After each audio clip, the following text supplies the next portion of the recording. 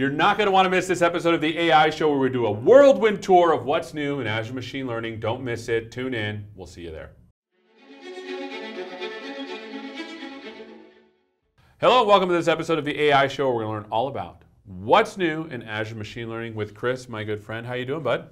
Excellent. How are you? Good. Tell us who you are and what you do for those who don't know. I'm Chris Lauren. I'm a PM on the Azure Machine Learning Service. Fantastic. So my understanding is that Azure Machine Learning is supposed to be the one-stop shop for data scientists from data all the way to deployed models.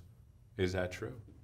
Uh, absolutely, almost. Okay. So in any machine learning experiment, about 80 to 90% of the work is absolutely finding, discovering, and working with data. Correct. You gotta find it, prep it, then you can train and deploy your machine learning model. And so in Azure, we integrate a bunch of different products together to make this work as seamlessly as possible across data engineers, data scientists, and engineers that are gonna deploy web services or their applications. Awesome. And so I'll show you how Azure Machine Learning enables this end-to-end lifecycle. Fantastic. And show us a little bit about what's new, right? Oh, for sure. All right, let's get Uh, started. Sweet. All right, so this is Azure Data Factory. And one of the things that Azure Data Factory enables is connecting a bunch of different data sources, like whether it's in S3 buckets or on-prem data sources and, and such. And so we fetched our data from a bunch of different locations, on-prem, maybe prep the data in Azure Databricks, and then we'll save it in Azure Data Storage, and then we'll fundamentally train and deploy a machine learning model using Azure Machine Learning, which is what we're primarily here to talk about.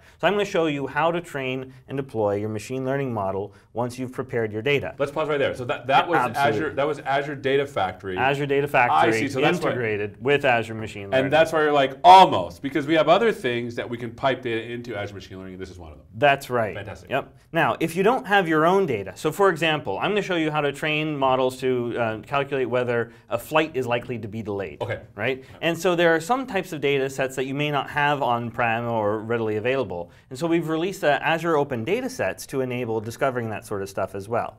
So we can search for, for weather data, we can look at the NOAA data, for example, and then we can identify what kind of columns or features are available in that data. I see. And then we can even see how to get access to this data. It generates a code using the Azure ML Open Data Sets. So you can use this Python package anywhere on your local machine or in the cloud to be able to get access to data so that you can enrich the data sets you do have with data sets you don't have to get better, more predictive data. I see. So if we pause, if we go back one, I'm so I when I saw this data set first, I was like, well, this is very useful to train novel models. But you're saying that we use this data to augment the data we already have to make even better models with what we got. Yes, I love it. I that- love it. That's right, absolutely.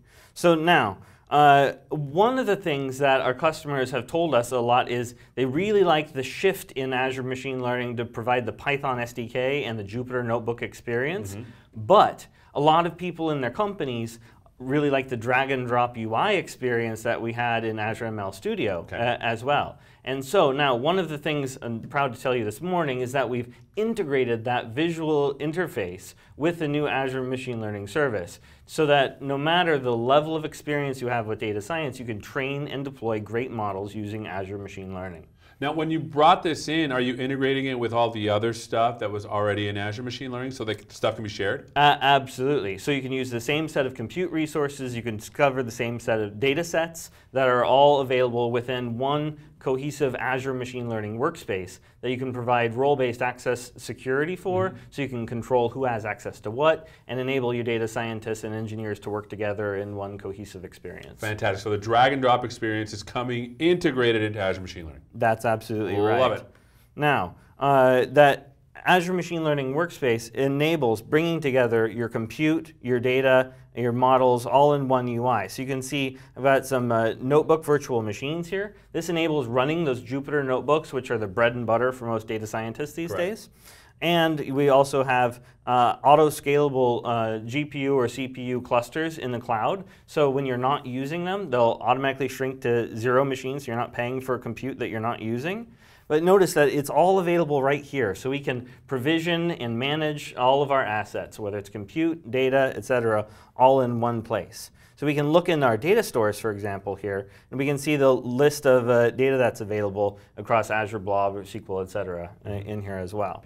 But uh, once you've trained your models, you can store those models in the Azure Machine Learning Model Registry, And we can see that these models are, are versioned, and we have full lineage to see which experiment was used to train those models as well, That's quick, quickly and easily. The thing I like about that is sometimes, like when a model is deployed, I, I don't know where it came from. Is there a way to trace back to an experiment to the actual data that was used as well? Yeah, uh, absolutely. So when you drill into each one of these experiments, then you then you can see a whole bunch of details uh, about the metrics the child runs and the links back to the individual uh, uh, input data set as well. That's cool. Let, let me show you how to train a machine learning model uh, using one of the other really neat capabilities called the automated machine learning. Cool. And so as a data scientist, sometimes you just want to determine quickly whether a data set has any predictive power at all. Right. And so you can use the Python SDK in this Jupyter notebook to connect to the workspace. So that's what we were just looking at. Create an experiment. An experiment is just like a project. It'll keep track of all your attempts uh, to train a great model. Then we can explore the data, uh, get a quick profile to understand the distribution of the different values in, in your data set. And then using uh, open source uh, libraries, we can certainly understand uh, the distribution of values plotted visually as well. And so this stuff that's already available, but the main difference is that I could be running this on my Surface Go because it's connected to a cloud VM using doing the notebook. Uh, absolutely. That's cool. Or the Linux machine under Cool. your desk. Oh, that's right. Or the Linux machine on your desk too. Yeah. Yep, you bet. Uh, so the automated machine learning enables kind of taking all those different features that are available in that data set and then identifying different combinations of algorithms and hyperparameter values for those algorithms to identify and how to train a best model, including data pre-processing or augmentation. Because sometimes uh, extracting individual values or transforming that input data to create new columns in your data set uh, can help increase the predictive power of your data as well. And so all that happens automatically just by providing uh, a simple script to get your input data and then uh, deciding where you want to run this uh, automated machine learning job. Uh, so in this case, we're going to uh, automatically create a, a CPU cluster because we're using tabular data. We don't necessarily need GPUs for Right. this, so we can control our costs. And then we can uh, submit this using an automated machine learning config file here. Now, what this does is this enables easily repeating this experiment over and over in a Docker container with the same set of the Python libraries, the right versions, so you can make sure that your code always runs properly, right? So automated machine learning basically is like a for loop that's smarter that runs over a bunch of, for example, scikit-learn models. Uh, yep, but not just scikit-learn models, even mod- model ensembles, including all of the pre- All that stuff, right. pre-processing. That's cool. And so, pretty much any any way you could achieve your goal, it'll iterate over all of those possibilities to create the best model possible. Got it. And you can see here, we specify the goal by telling it, oh, I'm doing a classification task in, in this case. Is the flight going to be late or not? Right? Uh, and then we can set some parameters like uh, how many times am I willing to try this Sure. so I can control the cost. And one of the new things that we've added here is the experiment exit score, basically saying this is my quality bar. I want to be like 80% confident in this case. Oh, that's cool. And as soon as I get there, just stop. Stop. So like, it may not go all the way to those 50 runs, Right. for example. That's cool. And we've added the uh, model explainability as well, which is super important in certain industries to understand why a model predicted the way that it does. And so I'll show you how that works in just a second here. So we'll go ahead and run this experiment on that compute that, that I mentioned above. Uh, and then we'll see right in line here how well the different uh, combinations of uh, pre-processing steps and things work. And you see as we mouse over in the widget, we can see the different hyperparameter values and such And uh, it picked well. those things on its own. We didn't have to do anything. You just say, here's some data. Let's see if anything can be done. Because usually what I do, when I do a, a machine learning model, I start with the dumbest models first, like decision tree or naive Bayes or logistic regression, usually in that order. And then if it works, great. If it doesn't, then I have to do something else. But it's a lot of work for me to set that up myself. This does it all on its own. That's right. That's yeah, cool. yeah, uh, absolutely. And then we can see right here in, in the widget uh, how well the different attempts were, were working. That's so we don't have to go anywhere to monitor how well the experiment worked. But I know that some people, uh, like you, This- Seth. Yeah, this uh, feels like a lot of like typing stuff in. Is there a way I can do this a lot easier? Yeah, absolutely. Uh, so in the in the UI, now we can simply create an experiment uh, and we can give it a name, and then we can select the compute target we want to run See, on. See, Chris, you should have led with this. I mean, this Well, but then it doesn't have the same wow That's factor true. That's true. That's Uh, true. You're- okay, so we'll select our data. Uh, now we can uh, pre- preview this data. We're going to see all the di- all the different columns that are available in this tabular data set. We can even click profile to get a quick uh, understanding of the, the distribution of the different columns that, that are in the data set. That's cool. Uh, and then again, specify that this is a classification task. Notice we've also added forecasting now, which is Oh, pretty cool. Snap. That's cool. And then we can specify the, the column that we want to target. And then we simply hit start if we wanted to run it. But we can even have additional controls like uh, specify if I wanted to choose a different metric uh, for my target here. If I wanted to block some of the algorithm, I so see. like don't even bother wasting any compute resources on Because those. you don't like the researcher that invented that particular model. Just don't use it. Absolutely. You don't have to. Absolutely. Okay, so that's the so that's how we get started quickly in the AutoML UI. That's cool. However, there it, there are certain types of things like um, you know vision object detection Yeah. type of scenarios or audio signals, etc. Deep learning scenarios that just uh, don't don't don't, work. work. well here yet. Um, we'll we'll work on enabling those someday, but for now, most classic uh, business problems uh, work with tabular data. Sure. This is an awesome solution. And I'm a vision person, so now you're getting to my area because everything looks super nice, but I don't know how to automatically say how many internal neurons you need for your deep learning network. And so, is there a way we can do that here? Yeah, yep, uh, absolutely. So uh, using uh, open source uh, deep learning libraries like uh, TensorFlow or PyTorch, Okay. uh, we can uh, run experiments using our Jupyter notebooks. Again, powered by the notebook VMs that are contained within that workspace. That's cool. Make it really easy to bring all this together. And so again, we'll connect to our, our experiment. Uh, we'll load up some, uh, some training data. I can even enumerate the different types of GPU v- virtual machines that I want to include in a cluster that's cool. because I can never remember the names of these Right. type of virtual machines, right?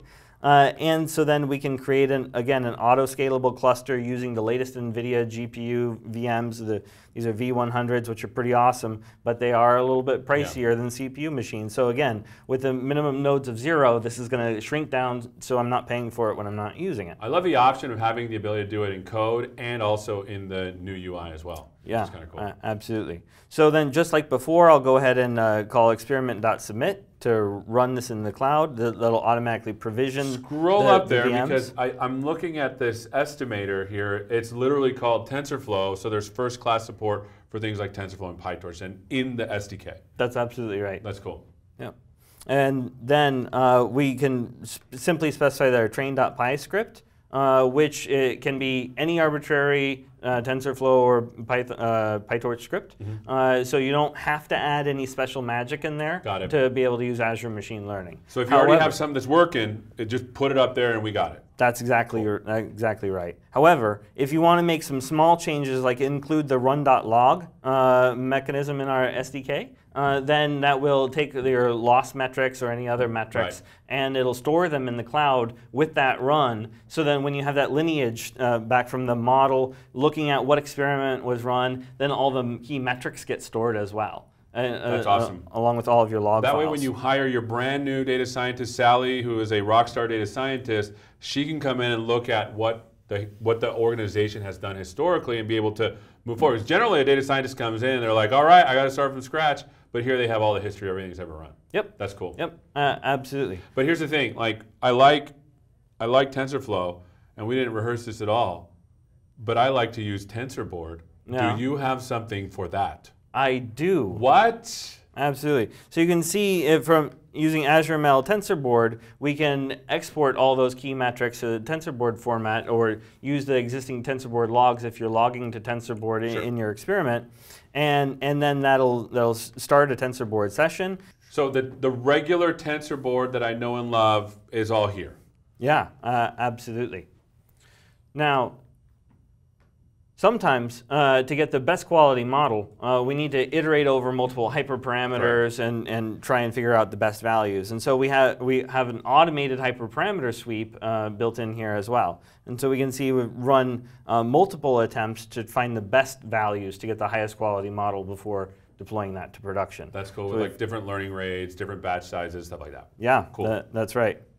Now, uh, to facilitate deploying these models to production, uh, we've automated this process uh, with uh, Azure Machine Learning uh, and Azure DevOps Okay. to facilitate bringing together the best of what data scientists do with the best of what engineers do and enable them to collaborate easily. And that's cool because generally most models die. You know, the model is great, but then nothing happens. I, I wanted to see what we're doing to go the last mile, and this is what you're talking about: Azure DevOps and Azure Machine Learning together. That, that's right. All right, let's take a look. And so we can see here, I've got a, a, a build uh, which is simply going to run, a, run an Azure Machine Learning pipeline uh, to train the, the machine learning model Mm-hmm. and then register that model in the model registry that we saw before with the different models and the different versions. So to create that pipeline, then we'll, we'll go through the process of uh, uh, creating a, a process whereby we have the scoring script and the YAML script. This will facilitate creating a Docker container to make the deployment super repeatable. I see. So for the inference part of the thing, we can have our own scoring mechanism and just have to adhere to whatever protocol we have. yeah, that's, abs- that's absolutely right. And if I remember right, it's just literally an init method and a run method. You just have to have those two, and you're good. Yep. Cool. Yep, absolutely.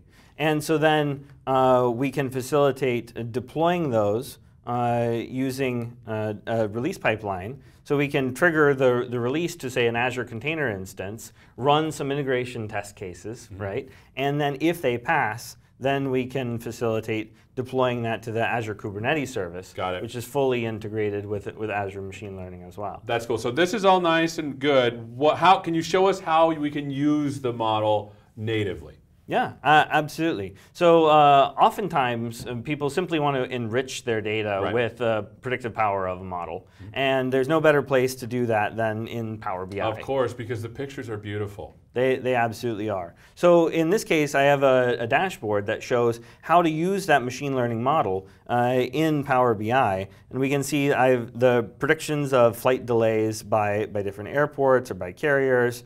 And we even use the new uh, key influencer widget here to, to see what characteristics of that data is, has the strongest predictive power to determine uh, whether that the flight is going to be delayed or How do you hook this all up, though? It seems too magical to me. Yeah, so with uh, Power BI data flows, we can incorporate these new AI insights, which have either the Azure Cognitive Services or Azure Machine Learning models built right into the data flow, so it enriches all the rows in your data set with the results of that, that model. That's awesome. So here I can discover all the different deployed models that, that I have in uh, Azure Container Instance or an Azure Kubernetes service, map the fields of my data set, uh, and then I can see the, re- the results right here in Power BI. And that goes directly into the visualizations. That's right. All right. Well, that was kind of a whirlwind tour. Anything else you'd like to add? Uh, fundamentally, uh, Azure Machine Learning is the best place for enterprises to bring together all of their data, their compute, to empower their data scientists to collaborate on training great models and then deploying those with the best practices for uh, what we call ML ops to ensure that those models can actually get out to production and have uh, high value for your business. Fantastic. Now, if you felt like we went really fast, take a break because that's all that's new in Azure Machine Learning from data all the way to models. Thank you so much for watching. Thank you for being here. We'll see you next time. Take care. Thank you.